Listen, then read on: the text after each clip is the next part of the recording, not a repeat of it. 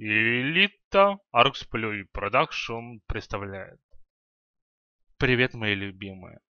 В этом выпуске мы рассмотрим контрпик Джаггернаута. До недавних времен он был довольно популярным героем. Его пикали практически в каждой игре. Спасибо Мете от про-сцены. Но сейчас уже популярны стали Снайпер, Тролль, Шторм и так далее. Давайте посмотрим, как можно законтрить данного героя и сделать из него просто, ну, легко. Первым у нас идет Омник. Ну, Омник, он соло не может пойти и убить Джиггернаута, но он помогает своей команде с помощью своего ультимейта. То есть а, Омник ультует, Джиггернаут ультует, и в итоге никому урон не наносится.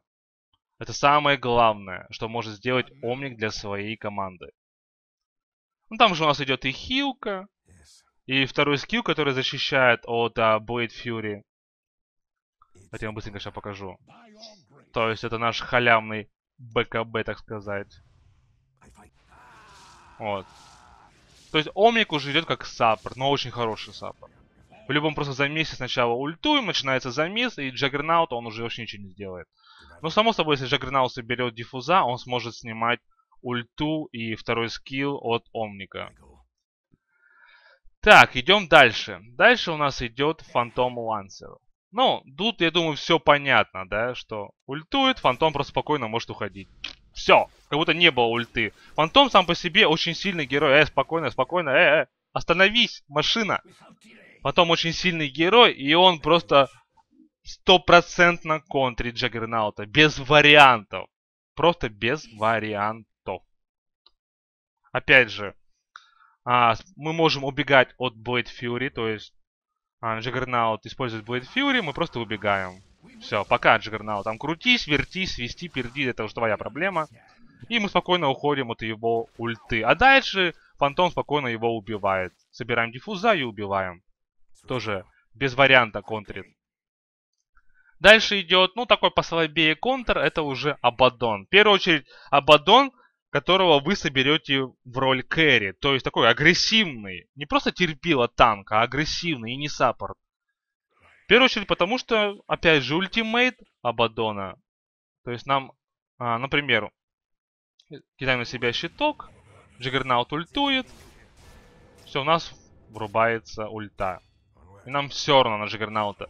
А там, если мы соберемся в carry, мы просто будем стоять его и бить. Все. Будем стоять его и бить, бить, бить. То будет делать, а будет Фьюри, мы будем стоять его и бить. Нам будет все равно. Потом у нас включается ультимейт и все. То есть, грубо говоря, Джиггернауту придется драться с Абадоном, у которого будет две жизни. Еще плюс у нас есть щиток, у нас есть замедление атаки и тому подобное. Дополнительный урон. Так. Спасибо, Абадон. Ну и дальше у нас идет темплярка. Ну, я думаю, здесь тоже все понятно благодаря ее Reflection щиток. Если она использует щиток, мы ультуем на нее и просто срать. Просто срать, вы видите. То есть ульта в ноль. А дальше она спокойно нас убивает из инвиза. Она может дамажить нас из инвиза, когда мы используем Blade Fury. И все равно. Оп, оп. Оп. Вот. Четыре героя. Ну, один саппорт, да, и три героя, которые спокойно могут законтрить Джаггернаута. Спокойно. В первую очередь это идет у нас Фантом Лансер. Он соло убивает стопроцентно этого героя. Потом уже идет а, Темплярка, ну там уже Абадон. И если вы играете за саппортов, просто пикайте Омника. Ваша ульта зарешает исход игры. Вы меня понимаете, да? И я чуть не забыл самое главное. Также мы можем контрить Джаггернаута с помощью двух предметов. Это ветра и Ghost Scepter. Давайте я вам это покажу. То есть Джаггернаут ультует, используем ветра, нам урон не наносится в итоге. То же самое с Ghost Scepter ом. Джаггернаут ультует, принимаем призрачную форму, и нам все равно на него. Все.